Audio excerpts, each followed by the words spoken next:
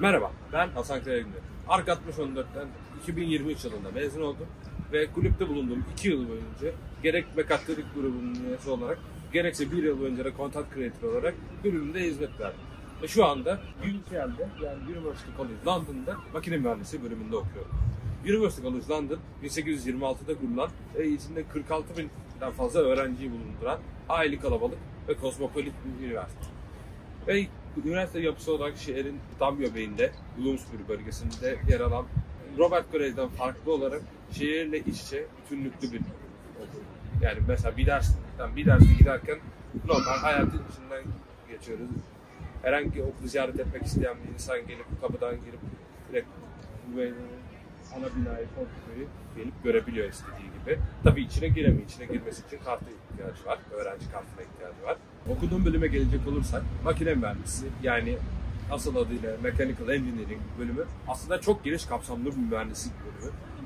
Baktığınız zaman statistik olsun, dinamik, akışkan mekaniği ve birçok farklı farklı fizik ve matematik odaklı çok yoğun bir program. Ama hayatımızda her alanda, her türlü kullandığımız alet, edevat, araç, her türlü içinde makine mühendislerinin eli parmağı oluyor. Mesela kullandığımız makinesi olsun, araba, uçak, tren veya fark herhangi bir böyle herhangi bir civatanın tasarımında bile üretiminde makine mühendislerinin bir dokunuşu oluyor ve burada eğitim alırken de sadece teknik konulara ezbere değil, aynı zamanda işin pratik kısmına, üretim, tasarım, iş planlaması, iş etiği, takım ruhu gibi pek çok alanda da öğrencileri başarılı bir mühendis olması için yetiştiriliyor.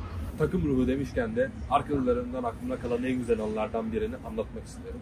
Burada anlatacağım olay Pendik All Season yarışması 2022 yılında. O yılda playofflarda pek birkaç talihsiz olay nedeniyle playofflardan elenmişti.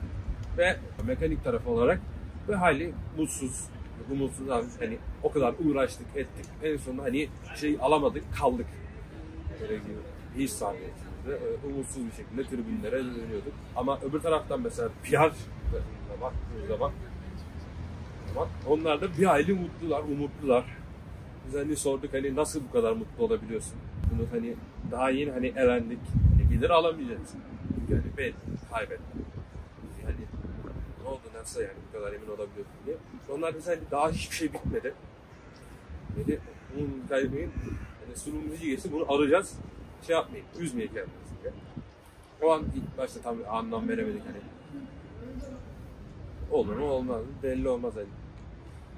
Ama hani ödülü şey hani alamayız. Hani aklına şey geçiyor hani o sırada hani. Bir alamadım tamam bitti yani bitti gidelim. Sonra ödüller açıklanıyor tek tek işte. Başlıyor işte İhmedi Award, Engineering Inspiration vesaire. En son Chairman's Award'u geldi. Chairman's Award şu anki adıyla First Impact Award. Sonra açıklarken bir anda pembe ejderhalar deyince o an o duygu yoğunluğu, o sevinç uzun süre aklımdan çıkmadı. Çünkü orada aslında şunu fark ettim ki asıl robot yarışmasında Ark'ta efendim hani önemli olan yani bir robotu yapıp oradan hani sahada sahada fiziksel olarak robotu dönüştürüp o skorları alıp winner almak değil. Asıl orada olay o takım ruhuyla takım olarak o deneyimi almak. Bir takım olabilmek. Asıl orada olan. Ve hani her ne kadar mesela teknik ekip olarak hani kendimiz hani başarısız gibi hissediyorduk ama o ödül bir anda geldikten sonra mesela şey duygusu abi evet yani ben, benim yaptığım bir değeri varmış. Ki hani ödülü almamış olsam bile sonraki yarışmalardan şeylerden de baktığım zaman aslında geriye dönüp baktığımda hani orada asıl olay o tecrübeyi alıp sonra takım olarak bir birlik olabilmemiz. Bir anda ödül açıklansa açıklanmasın bir anda o mutlu şeyi yaşamak gerçekten yani çünkü benim hani girdiğimden beri takıma girdiğimden beri aldığım hani ilk zaman off season olmasına rağmen hani sonuçta regional'da olsa üstündeki şampiyonaya bilet hani ama off season'daki chairman hani baktığı zaman sadece ödül ne diyor Hudson kupa dediğim boş bir kasedir aslında. Ama orada o yaşadığın deneyimler, yaşadığımız olaylar, o sevinç aslında. O mutluluk hala. FRC'nin bana sağladığı takım ruhu, kriz yönetimi, iş etiği gibi önemli değerler ve aynı zamanda kazandığım işte CAD çizimi, işte montaj yetenekleri gibi pek çok farklı deneyim, yetenek aslında benim şu an bölümümde olağanüstü derecede önemli avantaj sağlıyor. Bunun en temel örneklerinden biri de bizim bu yıl gördüğümüz ve bir yıl süren Design and Professional Skills adlı dersimizde de ben deneyimlerinden yararlanabiliyorum. Design and Professional Skills dersinden bahsedecek olursak bu ders aslında iki farklı bölüm. Design ve Professional Skills. Design bölümünde işte teknik çizim nasıl yapılır, bir ürün nasıl tasarlanır, neye dikkat edilir, hani müşteri portföyü nasıl ne, nasıl dikkat edilerek nasıl bir hani ürün çıkartılır gibi şeylerin yanında Fusion 360 üzerinden CAD çizimleri hazırlayıp fiziksel ürünü ortaya çıkarmak nasıl hani nasıl ürünü çizimi dönüştürülür. Onun hem teorik eğitimi hem de pratik deneyimini hani çizim örnekleri, ödevleriyle pekiştirdiğimiz bir ders.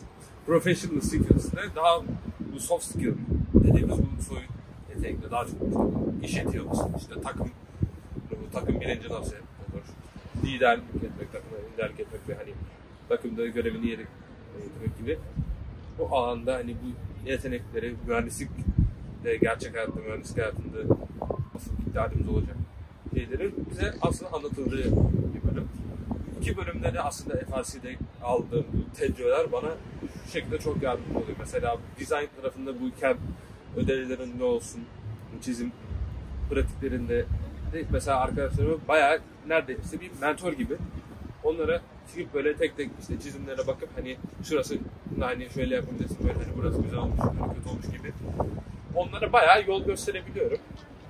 Hani zaten oradan aldığım tecrübeyle yine de o tecrübenin de üstüne koyarak kendimi daha da ileriye götürebiliyorum. 1-0 orada önde gidebiliyorum.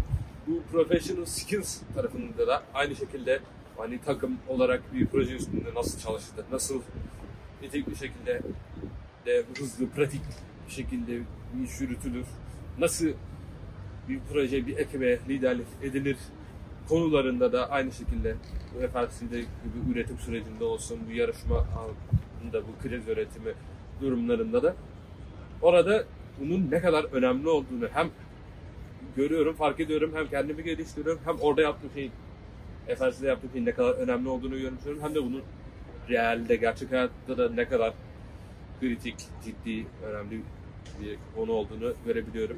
Hatta bu Design and Professional Skills derslere bağlı olarak da bu yıl üniversite birinci sınıf öğrencileri olarak bir yarışmaya hazırlanıyoruz aslında. Bir yarışmayı düzenleyen de IMECI yani Institution of Mechanical Engineering. Bu da uluslararası makine mühendisleri odası gibi bir şey. 140'tan fazla ülkede geçerliliği olan bir enstitü, bir kuruluş.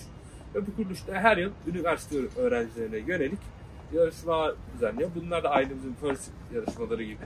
Belli bir görev veriliyor.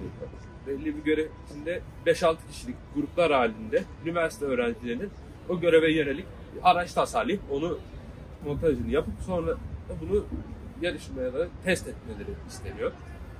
Burada bu yılki yarışma konusu bir araç tasarlamamız isteniyor. Bu araçta belli bir noktadan, belli bir mesafeli gibi duvara gidip otomatik şekilde başladığı yere geri gelmesi isteniyor. Ve bunu yaparken de tabii FRC yarışmalarından farklı olarak bu Foundation Challenge kısmına hazırlandığımız için farklı farklı seviyeleri var işte. Concept Challenge, Foundation Challenge, Advanced Challenge diye. Bu Foundation Challenge'da da ders gereği ona hazırlandığım için orada da tabii FRC'den farklı olarak herhangi yazılımsal bir şey olmaması gerekiyor sistemde. Tamamen mekanik olarak veyahut da böyle analog elektronikler kullanarak bunu çalıştırmamız gerekiyor. Burada tabii FRC'den gelen tecrübeleri sayesinde şunu fark edebiliyorum. Mesela bir aracın mesela belli bir bölümünün şeyin partisini tasarlarken onun mesela teoride nasıl olacağını ve hani sonra onun pratikleri elde nasıl olabileceğine dair daha realistik oturan düşünceler olabiliyor.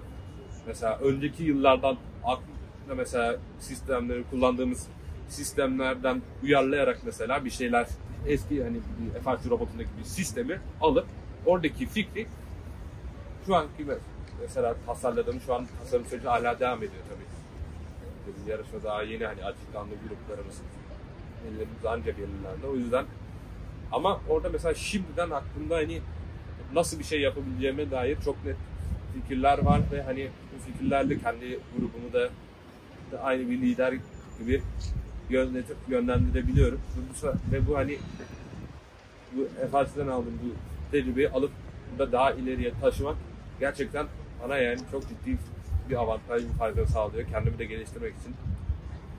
Hem kendim için hem takım için hem herkes için çok daha faydalı, çok daha yardımcı olan bir tecrübe oluyor. Benim bugün şimdilik anlatacaklarım bu kadardı. Eğer anlattığım bir şey hakkında herhangi bir sorunuz varsa veyahut da anlatmadığım herhangi bir konu hakkında herhangi bir şey olabilir. Bir sorunuz varsa yorumlarda belirtmeyi ve videoyu beğendiyseniz beğenmeyi, hala abone olmadıysanız abone ol butonuna basıp abone olmayı ve yeni videolar için kanalımızı takip etmeyi unutmayın. Arka 64 olarak videomuzu izlediğiniz için teşekkür eder. İyi günler dileriz.